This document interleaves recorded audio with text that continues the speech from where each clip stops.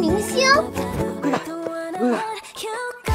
怪不得林子不来我们村，我就知道你回村里是因为你在城里惹事儿了，你被公司开除了。他干了什么你知道吗？他侮辱我就算了，他还灌酒、性骚扰别人。那个导演摸了我女同事，你是不是也觉得我做错了？为了这么一件事打人不对？做的太对，这时候不打什么时候打？要是我在旁边，我也给他两耳光。林子路，我支持你。吴哥，我想了很久，但我还是觉得我没有错。